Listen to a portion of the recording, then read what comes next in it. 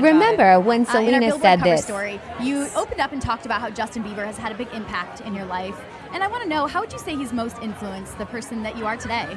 I mean, I don't think anybody truly actually cares.